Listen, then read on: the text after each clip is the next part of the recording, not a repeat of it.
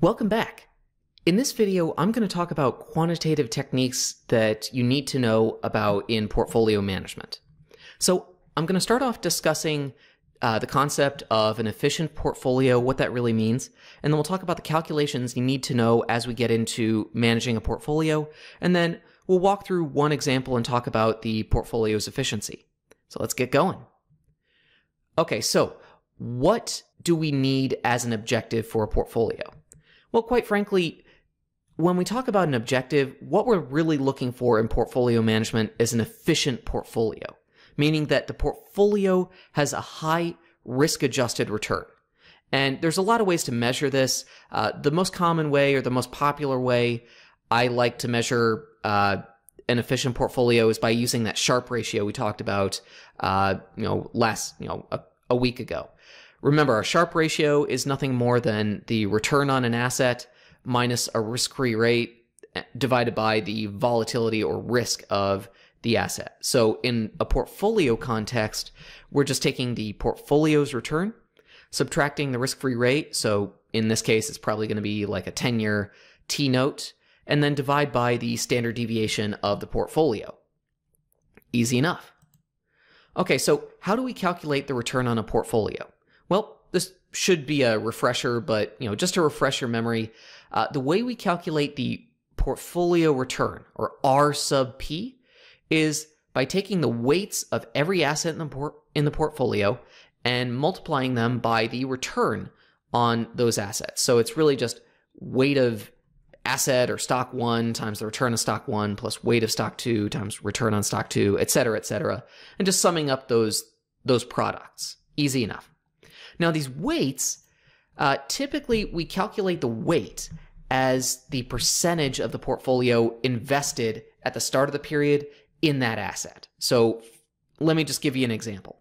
If you start the period with a portfolio consisting of $5,000 in Apple stock and $10,000 in Google stock, your portfolio weights would be, well, the weight of Apple in that portfolio is going to be 5,000 divided by the total of 15,000 or 33% or one third.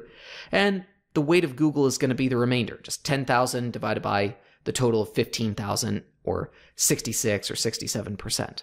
So that's how we get our weights. All right, next, you need to know how to calculate covariance or you need to know what it is. Uh, so covariance is the degree to which two assets move together. It's basically the, I mean, if we want to think about it this way, it's the expected deviation of the returns uh, from their means. So, you know, our, you know, in each time period, we're going to have a different return. We have an expected return or an average return, and we're just taking the, you know, the actual returns in each period minus the average returns and taking the product of those.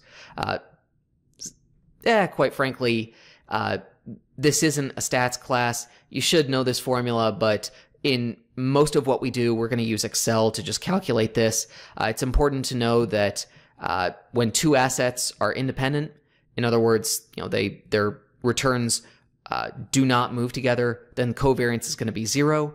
If we have two firms that are in a particular industry, like the tech industry, so think like Alphabet, aka Google, and Apple, uh, those stocks are typically going to have positive covariance, indicating co-movement. So when Apple's returns are high, Google's returns are likely to be high, and vice versa.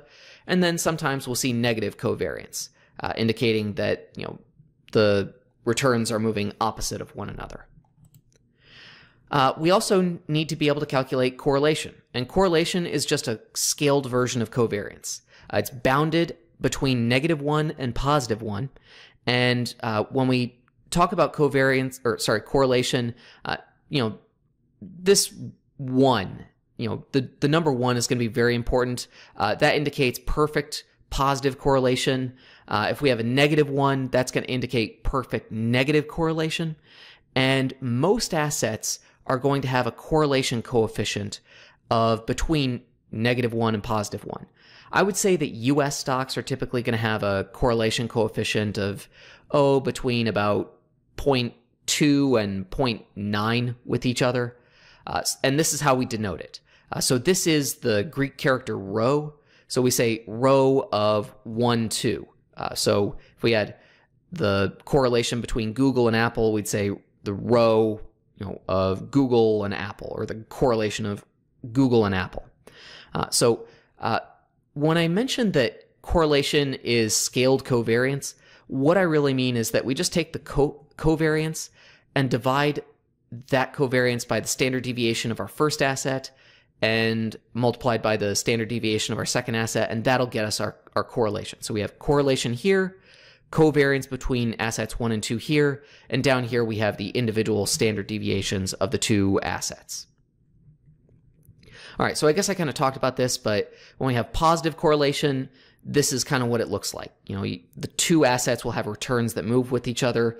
This is an example of po- perfect positive correlation, and this is an example of perfect negative correlation, where the returns move opposite of one another.